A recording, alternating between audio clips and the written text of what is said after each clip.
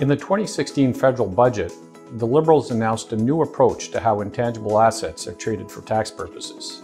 These new rules are effective January 1, 2017. Intangible assets, or eligible capital property, includes amongst other things goodwill, patents, trademarks, customer lists, and franchise rights. The tax rules will change for these assets, so they are treated the same way as other depreciable assets. But this has implications, especially when it relates to the sale of eligible property.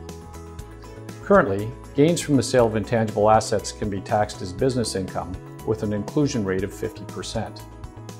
So with a combined federal and Ontario corporate income tax rate of 26.5%, the effective tax rate drops to 13.25%.